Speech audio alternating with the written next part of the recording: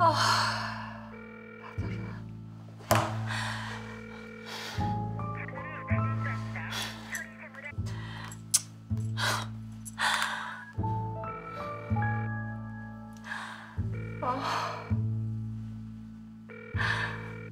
내일 붙었어.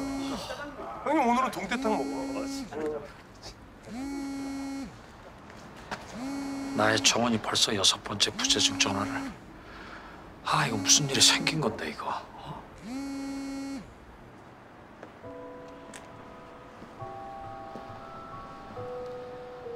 너 때문에 우리 엄마 애써 일어놓은 거 다 뺏기길 바라는 건 아니잖아 너도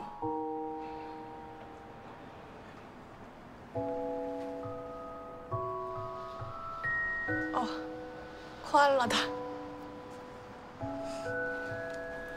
뭐가 또 그렇게 고민이 한가득이에요. 아 배고프네. 왜?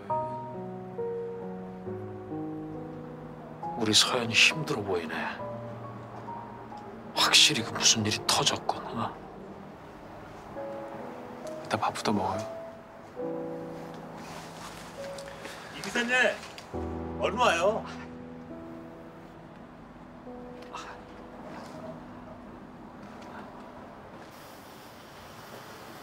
이 기사님이네? 네가 찾는 사람도 네 가까이에 있을 것 같지 않냐? 이 아저씨 좀 수상하지 않냐? 뭉인 씨, 잠깐만.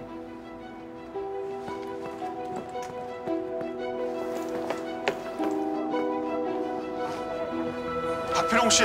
예.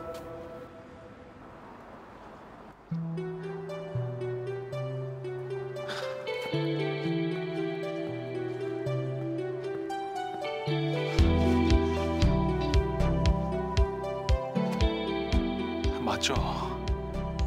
박필홍 씨.